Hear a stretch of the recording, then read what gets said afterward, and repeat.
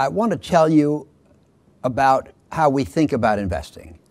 Nobody can provide a rule that will work all the time. The best we can do is to supply a way of thinking that works most of the time. Our job as investors is to do a superior job. If we do an average job, we don't add any value. Our superiority comes from having a good return earned with the risks under control. Superior investing, that's what it's all about. Everything that an investor does falls under one of two headings. Not everybody has organized the process this way. This is how I think of it. Number one, asset selection, owning more of the things that do well and less of the things that do poorly. Number two, cyclical positioning, having more invested more aggressively when the times are right and less invested more defensively when the times are wrong. In other words, fluctuating between offense and defense. The choice at any given time between offense and defense is the most important choice that an investor makes. The question is not US versus foreign, stocks versus bonds, small cap versus large, value versus growth. The most important thing is whether to be aggressive or defensive at a point in time. If you can get that right, all the other things fall in line. And if you get that wrong, the rest won't help. Offense versus defense. Now, the question how do we figure out whether to be aggressive or defensive? That's really the key. In my opinion, the question is best answered through an understanding of where we stand in the cycle. I should make clear at the very outset that I don't believe in forecasts. It's one of the important six tenets of Oaktree's investment philosophy is that we do not determine our investment actions on the basis of macro predictions economy, market, rates, currencies. Nobody, in my opinion, knows consistently more about those things than anybody else. The way to understand the cycles is by uh, remembering what Mark Twain is supposed to have said history does not repeat, but it does rhyme. What does that mean?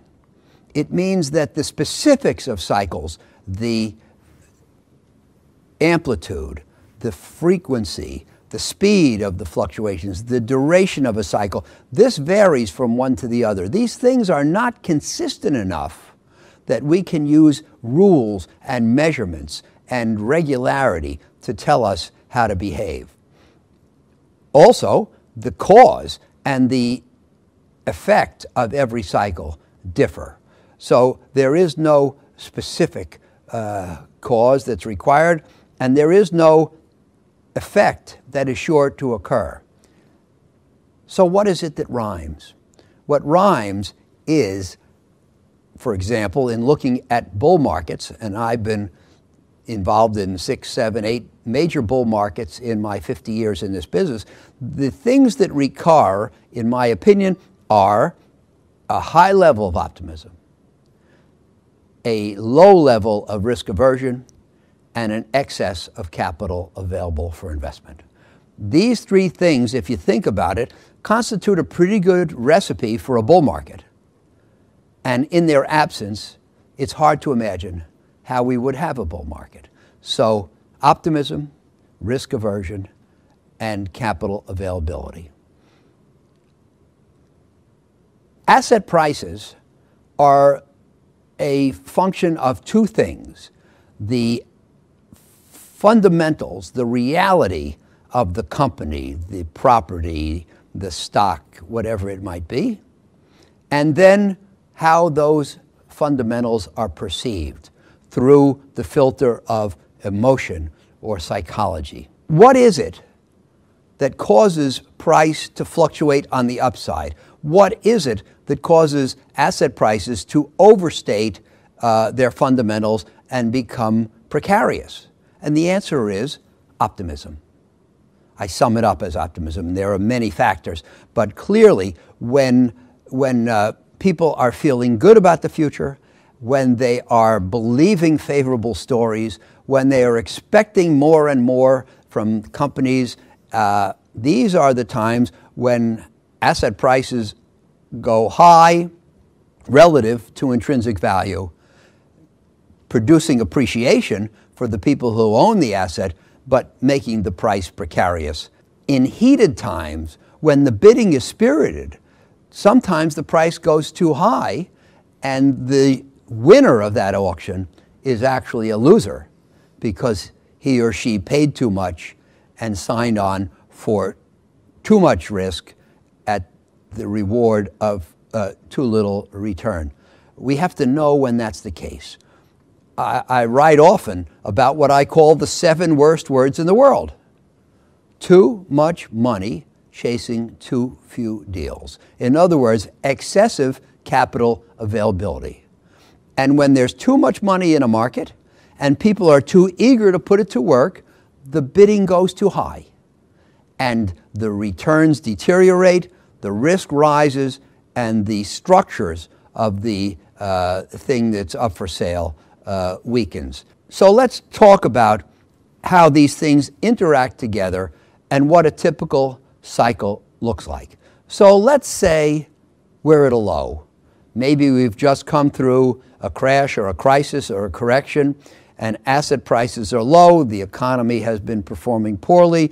Uh, most people are smarting from their previous losses. What happens? Eventually, yes, eventually there is improvement the economy starts to strengthen. Companies start to report better earnings. And once the trend gets rolling enough, the media turn to investing, uh, to mentioning primarily favorable developments. If this goes on long enough, eventually investor expectations strengthen, optimism rises, asset prices rise, this causes people who have been holding assets to celebrate and buy more. Eventually, people who haven't been holding assets capitulate and finally give up and buy themselves. Everybody's a buyer. Not too many people are sellers because everybody feels favorably. That means asset prices strengthen even more, bringing more confidence into the markets and causing risk aversion uh, to evaporate. At this stage in the market, usually what people say is, I love risk bearing. Risk is a, my friend. The more risk you take, the more money you make. Bring it on. Eventually, the economy starts to perform less well. Company earnings don't surprise, they disappoint. Eventually, the media catch on, and now they start talking about negative developments, not positive ones. What happens? Investor expectations weaken psychology becomes more depressed. Now, prices are falling. People have losses, not gains. The people who have been holding are chastened and withdraw. Maybe they sell. The people who haven't been holding celebrate. They pat themselves on the back, but certainly they don't jump into the market. Now, risk aversion is rising, and people are saying, risk? just another way to lose money. I'll never touch it again. And this is what happens at the bottom. The people who have not been who have not been in the market certainly jump in and buy. This is the time when the anti-cyclical unemotional investor should turn aggressive. Not easy. Everybody is doing the opposite. Everybody's buying at the top because they feel good. Everybody's selling at the bottom because they're depressed. This is what makes tops and bottoms. Your job, to the extent you can do it, is to do the opposite. But you are subject to the same environmental influences as everybody else. How can you resist these things? Well, number one, you have to understand the role of emotion you have to understand that fundamentals don't fluctuate that much. Emotion and psychology fluctuate much more. You have to understand the importance of being unemotional. Not easy. If you are as emotional as the typical investor, you will do the same things as the typical investor. That is to say, buy at the top, sell at the bottom, and certainly you will not outperform. You have to try to do better. How? By being unemotional, by hiring investor managers who are unemotional, by not tampering with the process. But we always did it with trepidation. We never said we're buying and we're 100% sure it's the right thing to do. We said we're buying and we think we're right. We buy some. Maybe it cheapens further. Maybe we buy more. By the way, one of the big mistakes you can make is to wait for the bottom. A lot of people say, I'm not going to buy, I'm not going to try to catch a falling knife. Rather, I'm going to wait until the dust settles and until the uncertainty is resolved. And guess what? When the uncertainty is resolved and the knife has stopped falling, the bargains are gone. You get the bargains during the decline when everybody else wants to get out and they want your help in enabling them to get out as the prices are cascading downward. In closing, we eventually have to get to the topic where are we today? And there's a mixed message. This is not one of those times when we are extremely high and you must sell and ex- or extremely low and must buy. We're in the middle ground someplace. There are factors favorable and unfavorable. But let me talk to you for a minute about the decision that has to be made the key, as I said earlier, aggressive or defensive. Relative to your normal risk posture, should you be more aggressive? Should you have more assets and riskier assets? Or should you be defensive, has less assets and safer assets? That's really the key. And uh, I think that by enumerating the factors, we can get to an answer. But as I say, we're in middle ground today, so it is not an extreme or a compelling answer.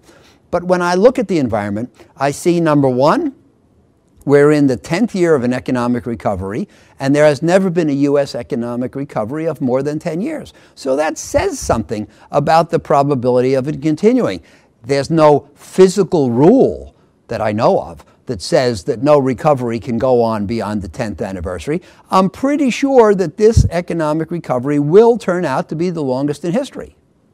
So I would say that we are somewhere above the midpoint of the cycles. I would say that, uh, that uh, we, would, we should be more defensive and less aggressive, that we should worry more about losing money and worry less about missing opportunities. Last point. Even if we know where we are in the cycle, it doesn't say we know what's going to happen tomorrow or next week or next year. But it says something about the odds. So, from any point in the cycle, the next move could be up or flat or down. And we don't know with certainty which one it is, but we know something about the probabilities. And I believe that the probabilities today are biased toward the downside not so bad that we shouldn't invest, but, but making it extremely important that we invest with caution. And Oaktree today is applying a high degree of caution in everything it does. Uh, that's my answer to where we are today. I hope that's been helpful to you, and I hope to see you uh, in the near future again, hopefully not even by hologram.